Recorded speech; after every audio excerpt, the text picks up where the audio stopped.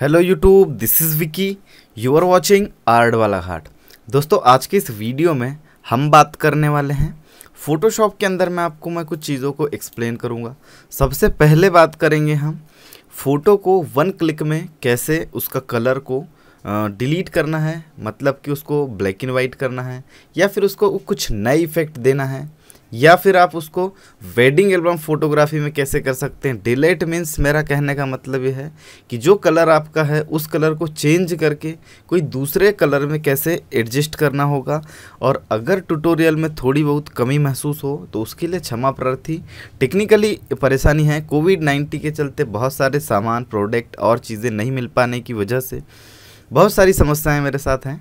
खैर, उन चीज़ों को नहीं देखेंगे हम। हम यहाँ ट्यूटोरियल को समझते हैं कि कैसे वर्क करता है ये और कैसे कैसे कौन सी चीज़ काम करेगी। उससे पहले बता दूँ कि अगर आप फोटोशॉप के आर्टिकल पढ़ना चाहते हैं तो आपको हमारी आर्ट बालाघाट की वेबसाइट में लिंक मिल जाएगा, डिस्क्रिप्शन में, उस वेबसाइट को चेक करो। वहाँ आपको सारी चीज़ें मिल जाएगी कि ये कैसे कैसे चीज़ें काम करती है। याद रखेंगे फ़ोटोशॉप चलाने के टाइम नम लॉक का बटन ऑन हो कैप्स लॉक का बटन ऑन नहीं होना चाहिए। याद रखेंगे इस चीज़ को, ये अनिवार्य है। जो भी बटन क्लिक करूँगा, यहाँ पर शो हो रहा है आपको। राइट लेफ़्ट जो भी क्लिक कर रहा हूँ। तो यहाँ से शुरू से समझेंगे हम, इस मो टूल पर रहने के बाद इस वाले बटन में क्लिक है क्लिक है। फ़ोटो लूँगा सिंगल वे में इसको ड्रैग एंड ड्रॉप करूँगा फ़ोटो को, और यहाँ से मैं इस फ़ोटो पे वर्क करूँगा। ज़रूरी नहीं फ़ोटो का रिजोल्यूशन क्या है, कैसे काम करता है कौन कौन सी चीज़ कहाँ है। यहाँ पर आगे चीज़ों को मैं बताऊँगा, समझाऊँगा। सबसे पहले इसको ऐसे ही रहने देने वाला हूँ। कॉपी में बनाना चाहता हूँ, लेकिन फ़िलहाल रहने देना है, मुझे ऐसे ही। यहाँ से इधर पर क्लिक करना है, और यहाँ से हुई एंड सेचुरेशन में क्लिक कर देंगे। जैसे क्लिक करेंगे, वैसे यहाँ पर ये बटन आ जाएगा। इसको थोड़ा सा कम करेंगे। देखेंगे यहाँ से पूरा पूरा चेंज हो रहा है ये चीज़। तो हमको ये नहीं करना है। हमको क्या करना है? ये चीज़ आप समझ लेंगे। इसको डिलीट कर देता हूँ। सबसे पहले इसकी कॉपी बना लेता हूँ एक मैं। उसके बाद में आपको क्या करना है? इधर पे आना है हुई एंड सेचुरेशन पे। अब यहाँ पर ये जो डिफ़ॉल्ट है, इसको कस्टम में क्लिक कर देंगे। और यहाँ से ये जो कलर नज़र आ रहे हैं आपको, जैसे कि यहाँ पे रेड कलर नज़र आ रहा है, येलो कलर नज़र आ रहा है तो येलो कलर कम करेंगे थोड़ा सा। सॉरी, इसको नहीं करना है। येलो कलर कम ना करते हुए यहाँ से इसको कस्टम में क्लिक करेंगे और यहाँ से येलो कलर को हल्का सा कम करूँगा मैं। देखेंगे कुछ इस तरीके का आपको नज़र आएगा।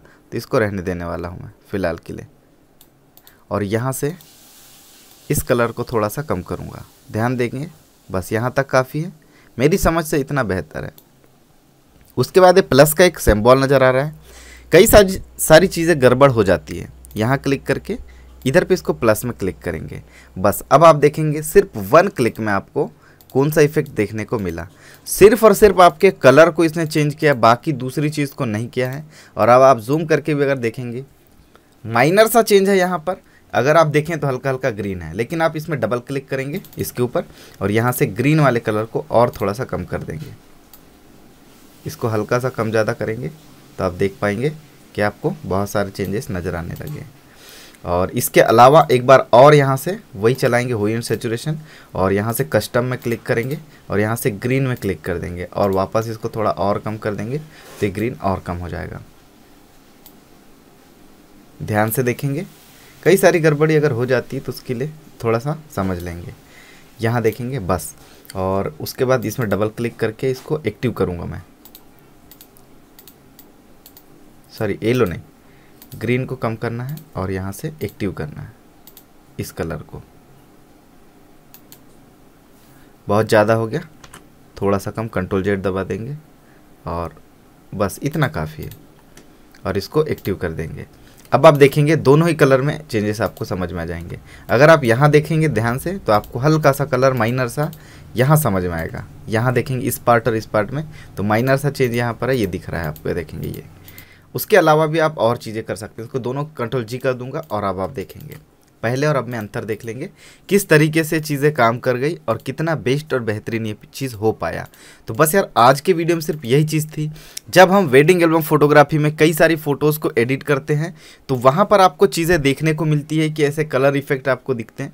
तो वन क्लिक में ऐसे करना चाहिए, वेडिंग एल्बम फोटोग्राफी के लिए काफ़ी बेहतर और बेस्ट हो सकता है। तो मेरी समझ से आज का वीडियो सिर्फ़ यहीं तक था। कैसा लगा कमेंट में ज़रूर बताना। अच्छा लगा तो लाइक, शेयर, सब्सक्राइब करें। हम मिलेंगे किसी नए टॉपिक में। तब तक के लिए अपना ख्याल रखें। वीडियो देखने के लिए आपका बहुत बहुत धन्यवाद। थैंक यू धन्यवाद, जय भीम।